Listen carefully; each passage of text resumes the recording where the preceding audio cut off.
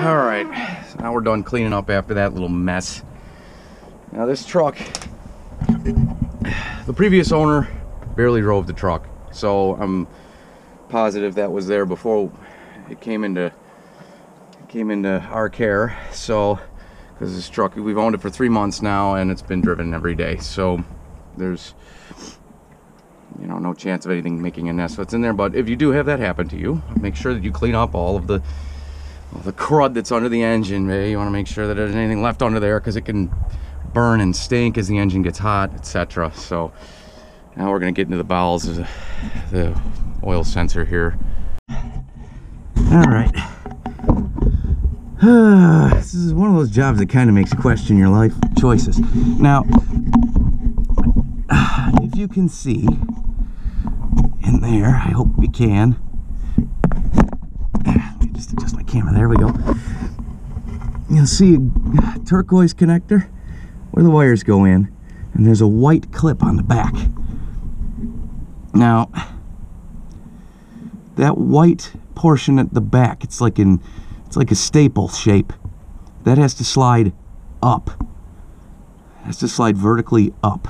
And once that's up, there's a tab in the middle that you depress toward the center of the sensor with your thumb. And that should release the sensor. Now, a lot of the videos I've watched, people just say, oh, just take the clip off and, and etc. They don't tell you how to do it. That little white uh, staple-shaped plastic piece at the back slides up. And then you press in the center of it with your thumb, and supposedly the sensor will come loose. So the, the clip on the sensor will come loose. There it is.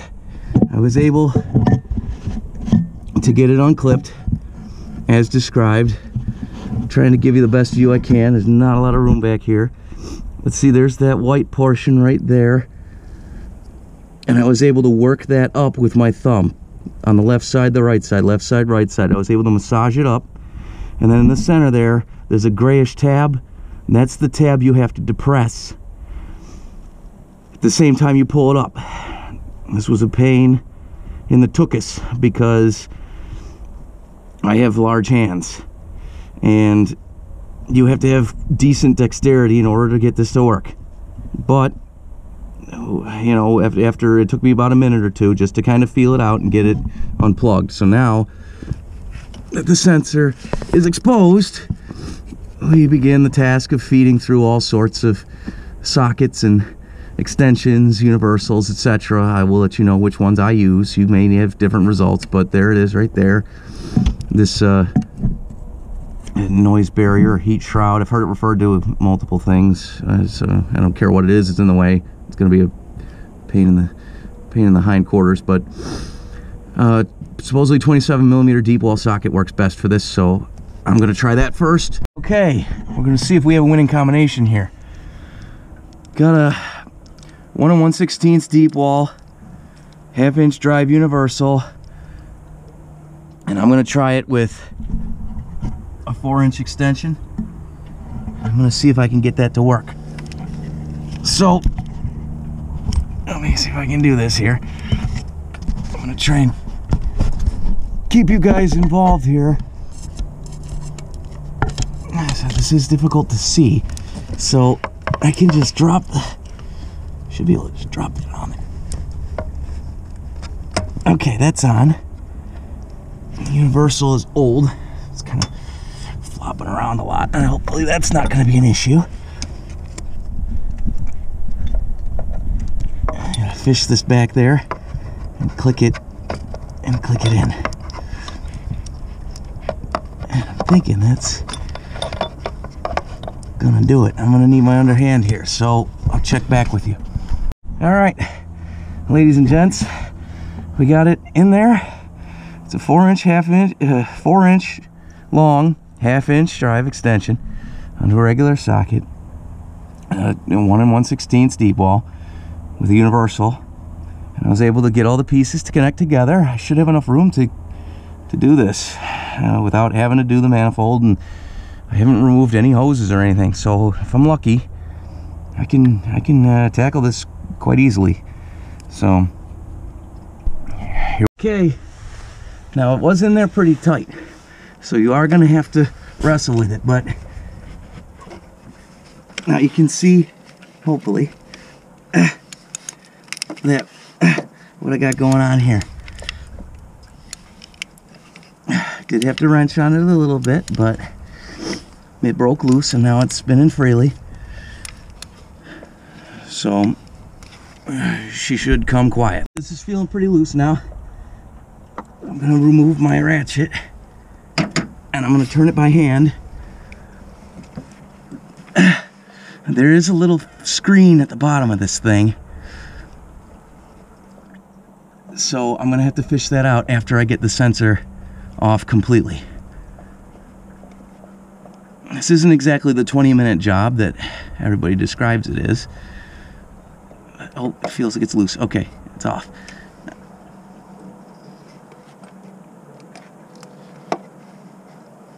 I got my fingers on the bottom of the socket to make sure I don't drop the sensor.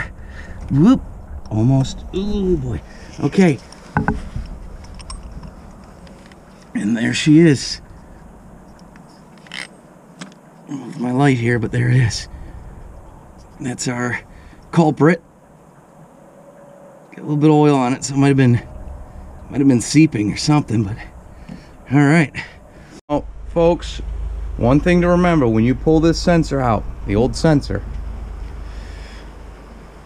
make sure the rubber weather seal goes back into the new sensor. Now, because this truck was a newer truck, it's only got 34,000 miles on it, the rubber stayed on the clip when I pulled it out. So, if you're working on an older truck, that rubber may come out in the old sensor. If it does, you got to take the rubber O-ring out of the sensor, the old sensor, and place it into the new sensor before plugging your clip in there. Just a little top tip to check for that when you're doing this job. Next item of business, now that the sensor has been removed, there's a little screen in there. That's this piece right here. Some, like I said earlier, some people clean it. It was six bucks. I'm just replacing it. And what you need, apparently, is a coat hanger with a hook on it. What I'm gonna do is try to get it down into the hole, fish it into the center of this, and then pull it up and out. So I got a coat hanger here. It's straight for about a foot. One other item of note here. That's the old sensor. So one other item to note is, before I forget, I'm gonna unplug this so that the computer resets. You know, unplug the battery so that the uh, when you plug it back in, the computer's starting from scratch. Otherwise, you may still get error codes when the uh, ECU resets like this. With the new sensor in place, it should uh, it should clear the codes and it should work fine. So, all right. Apologies for the weird angle, and forgive me for my voice. I am uh, laying on my chest here. Hopefully you can see down in there. I got my little coat hanger here. I'm gonna go fishing. Oop, there goes my flashlight. I don't like fishing, honestly. I don't like fish. I have better ways to spend my time, like working on Chevys. It looks like I got it. There it is. So I just pushed it down in there. That little hook on the end. Pulled that little guy out. So uh, uh, uh, let me show you what I'm working with here. I got a dog bed laying on top of the engine. That's kind of how you got to do this. Others have said that. So there it is. There's that screen. Popped clean out. Nice and easy. All right. Installation is the reversal of removal. Just kidding. I'm not going to leave you guys hanging like that. All right. So we got our little screen here, and we're going to pop that in the hole. And the next hurdle is going to be getting the threads started on this guy to make sure it's correct. Note, just something to remember. Sensor comes with this plastic cap on it, so pop it off before you put the sensor in. And don't forget to put that little screen in first. So, ooh, let's not drop that back there. I'm gonna try to get you guys in there. You guys are always in the way. Why is that? All right, there it is. Hopefully you can see my fingers down in there beyond the flashlight and everything. Oop, there goes the flashlight. Let me handle this. Ooh. Uh, come here, come here, Mr. Sensor. Don't fall down there. Crap. Ugh. Okay, let's put you up here. Just somewhere safe. Okay.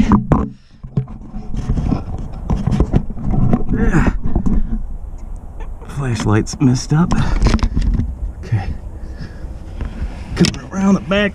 See, I'm moving the pipes that the flashlight's resting on, so maybe a different spot to get it in here. Trying to get this just right where everybody can see. Okay. There it is. It just dropped right down into the hole, right where it needs to be. And now we're gonna get now we're gonna get the sensor in there. Again, hopefully can hopefully you can see what's going on here. So let me grab the sensor. I'll go try and get the thread started on this guy. Bumping the flashlight. Okay.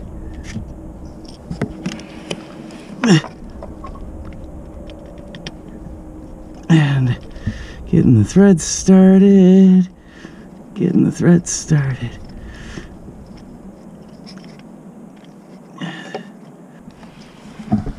I need my socket here.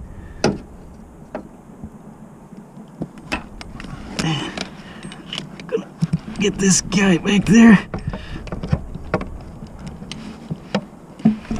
There goes the light.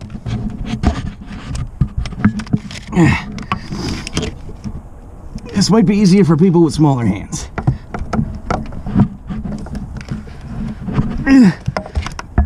Oop. Oh boy. There goes the flashlight.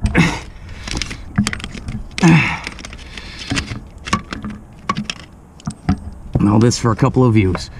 Okay. There we go. All right. I slid down and on. And it's not where I want it to be. okay. We gotta pull the extension off and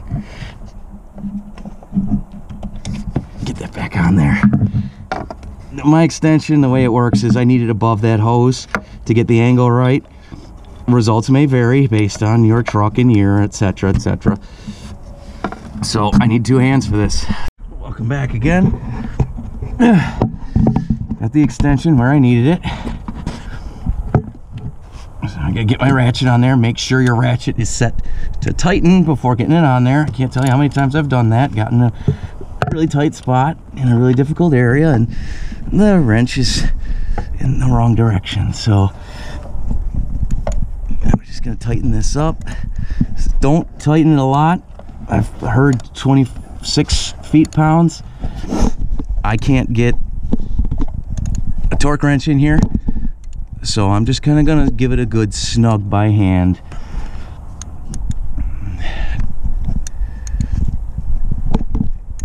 As I'm sure a lot of people have. Cue fast forwarding.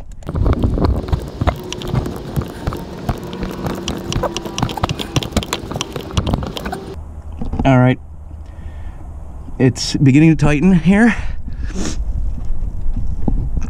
Make sure I'm at a good angle with my universal and everything. And I'm gonna give it a good snug. Not too much. but just enough to crush that fitting. And that feels like it feels like it's pretty tight. So, okay, let's pull extensions out of here. Eh.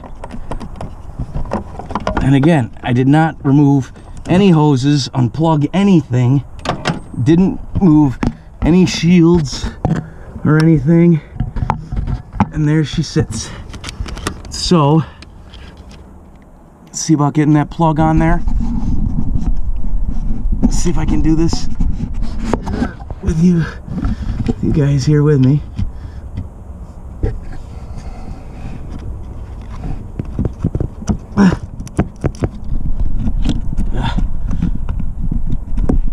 Oh, there's a vacuum hose in the way. There we go. Okay. Oh, what do you know? Hear that click? Snap. And it's on there. That's good. Make sure that little uh, white staple shaped piece is all the way down. I'm gonna try to pull it off just to make sure it's on there. It's on. All right, we did it. So. Ugh, too old for this. Okay, we're all set.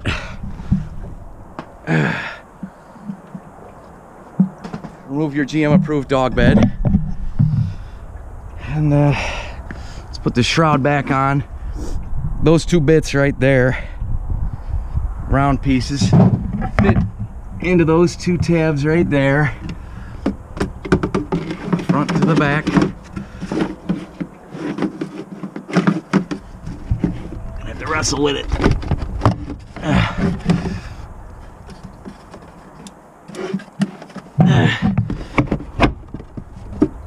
Okay, and then make sure those are lined up.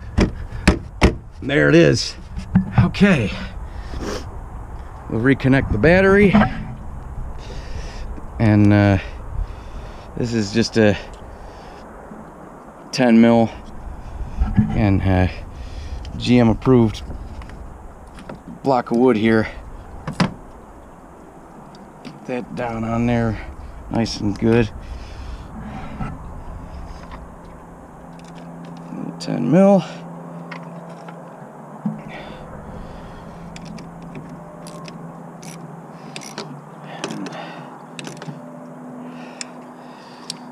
Place the uh, rubber cover here. There we go. Very nice. Okay. Grab of my tools here. Everything out of the engine bay before I try starting this thing.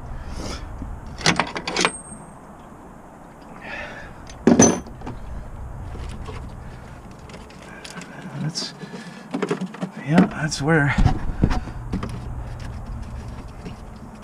that's where it wants to be. Okay, yeah, I can see where it was rubbing. All right, so that's where it is.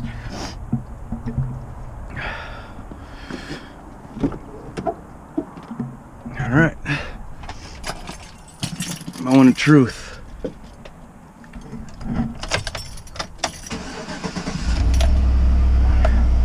And what do you know? We got oil pressure. Excellent. Check engine light is off. Perfect.